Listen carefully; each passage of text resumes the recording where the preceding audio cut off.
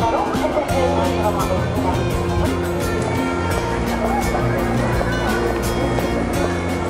んにちは秋葉仁です。今日はあいにくの雨降りになってしまいましたけれども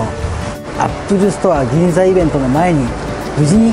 綺麗にしてもらいました。これはかなり気合入ってますよね。今回はですねこのイベントに合わせて名刺とかも新しくしたので是非もらっていただければと思うんですけども